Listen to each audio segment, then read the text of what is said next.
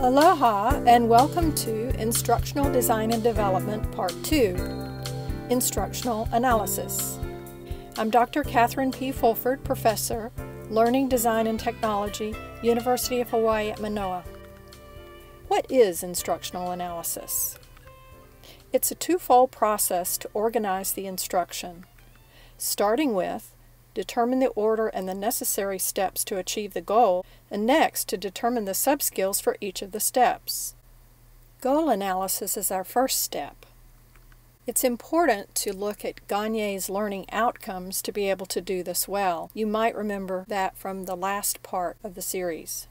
First, we have motor skills, attitudes, verbal information, intellectual skills, and cognitive strategies we will look at ways to analyze each of these learning outcomes. First, we want to identify the steps. This is though you are watching someone do the behavior. What's the first step they take, second, third, and so on. You want to be sure to use observable and measurable statements of behavior related to the learning outcome. First of all, we have verbal information. This is our declarative knowledge.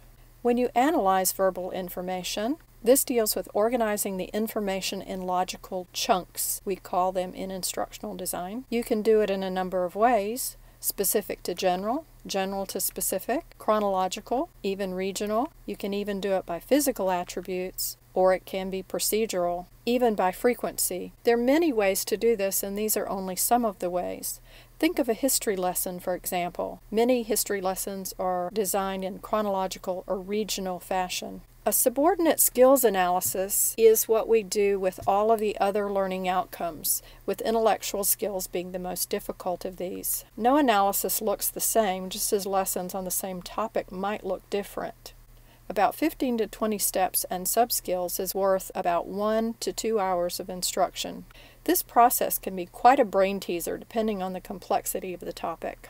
Intellectual skills are those complex rule governed mental processes and cognitive strategies are specialized intellectual skills for managing our own learning. First, a subordinate skills analysis. You start off with each step and break it down into all the subskills that it takes to achieve the step. There is a hierarchical structure of intellectual skills. Starting at the bottom with discriminations, moving up, we have concepts, those concepts, when put together, become rules, and those rules, when put together, becomes problem solving. So at the top are the higher order rules. This is a complex set of rules that you can perform or generate results. You must ask yourself what does the learner need to know to be able to solve the problem? The rules come next. These are operations that you can consistently demonstrate. For example, 3 plus 2 is always equal to 5. Once you learn how to add single digit numbers, you should be able to do this with all single digit numbers. Next, you ask, what does the learner need to know to be able to learn the rule? We have concepts.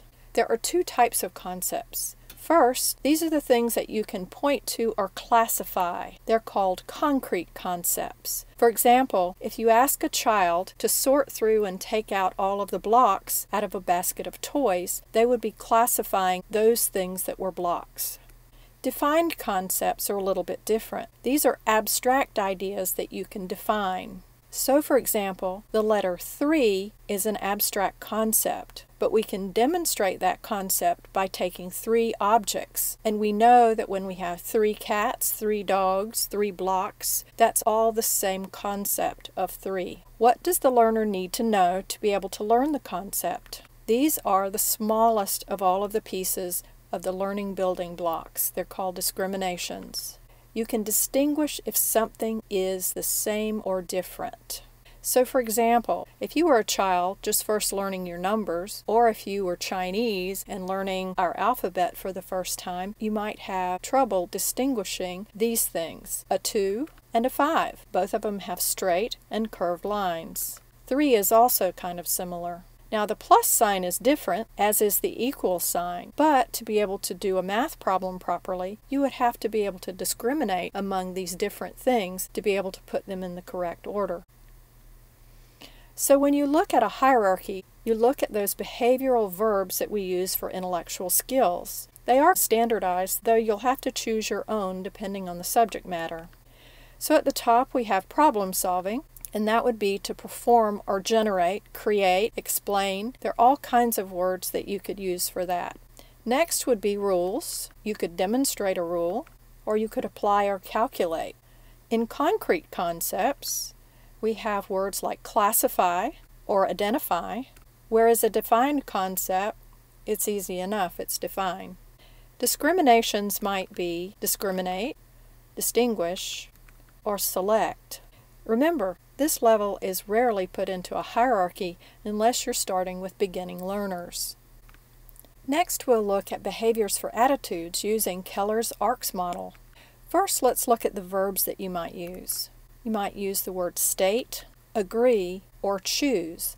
This implies that you'll probably do a survey or you will be watching people's behaviors. In the ARCS model, it starts with attention at the bottom. This might mean aware, considering, or weighing. In other words, you're just starting to think about the behavior that you're being taught. Next is relevance. Is it important to you? Is it connected to what's important to you? Or is it feasible? Confidence is the next level up. Once you've achieved confidence, it becomes automatic and spontaneous. Last and most important is satisfaction. This is where you truly become a role model for the behavior. You can well imagine when you're talking about the importance of wearing seatbelts, it's not enough to just know about it, it needs to become automatic. And certainly you can eventually become a role model where you're sure to tell everybody to buckle their seatbelt. Next is our psychomotor skills analysis. Again, you do your goal analysis, and this is much of the instruction itself. The psycho part, or the cognitive piece, also needs to have a hierarchy, which is similar to that in an intellectual skills hierarchy, but you may not need it for all of the steps. Use the physical behavior verbs for the top steps, and then the cognitive verbs for the sub-skills. Once you have identified all of these behaviors, you'll then be able to write your behavioral objectives as well as your evaluation items. Next, we're trying to decide what prerequisite skills we think the students already have. We're going to set our entry behavior line to do this. For example, if we gave them a pretest, we assume that they would do well on these three concepts. So we would set our line here. And on the rest of them, we believe that they would do fairly poorly and would need instruction. You notice that the entry behavior line does not have to be straight across. The way you read this is upward. So if you look at the numbers, we expect that the skills become less and less as they go up. The same is true when we've completed our formative evaluation and we not only have the pretest, but we also have the post-test. Look what happens. Instead of the three concepts we thought being easy, there were different. And so we have to reset our entry behavior line. The way it looks, it should be going upward, so it gets more and more difficult as you go along.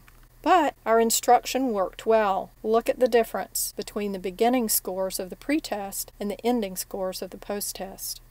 Next, I'm going to show you a hierarchy on fish and diet behavior that was designed in one of my classes. This was a module developed for fifth grade students. It had four levels of learning, was divided into five clusters or chunks, and learning is always bottom up. First, the students already knew the entry behaviors, so they were reviewed. Then they learned their concepts. Next, they learned their rules. And finally, they learned the terminal objective or the higher order skill. At the bottom, we have the entry level skills. Next, we have our concepts. Then we have our rules. And last but not least, our terminal objective. Although you learn from the bottom up, you design from the top down. Let me show you. I have always found it easiest to design from the top down. So we start at the top and put our terminal objective there. Our fish diet, behavior, and physical characteristics are the three things that we're going to key on now what you're going to do is think aloud and break it down. Our two rules, which are also our two steps in our goal analysis, are to determine the diet based on the mouth, diet and mouth. Next is to determine the feeding behavior based on the type of fin used in swimming. So feeding behavior and fin are the important concepts here. So next, we're going to identify our embedded concepts in these two rows. Based on the diet, we have fish, plants, invertebrates, plankton, and coral. Based on mouth, we have a beak mouth, a grazing mouth, feeder mouth, and predatory mouth. Over on this side, we need to look for feeding behavior. So we've got pursuing feeder, a reef feeder, and an ambush feeder.